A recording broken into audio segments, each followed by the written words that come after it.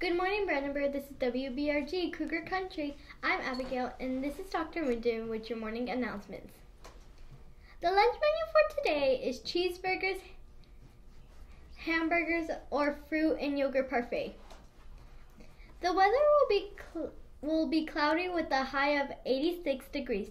Now here's Dr. Minden with some more announcements. Uh, good morning, everybody. I hope that you have a wonderful day today. We're going to start with good things. You have any good things to share? That I went to the fair on Monday. You went to the fair? Oh my goodness. And Jason went to the fair too. A lot of people have been going to the fair. Did you have fun? Yeah. Awesome. Have you been in the library learning about the fair yet? Mhm. So a little bit beforehand. Awesome. That's that's really cool. Um, I also want to remind everybody that we have the candy drive.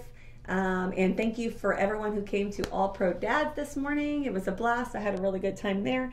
And uh, those are all of my announcements for today. Now for the Brandenburg Pledge. Here at Brandenburg, we are Cougars today and leaders tomorrow. Doing our best every day, no excuses. Our SEL question for today is Which time of the year is the most fun for you and why?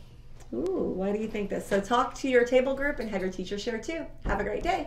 Bye.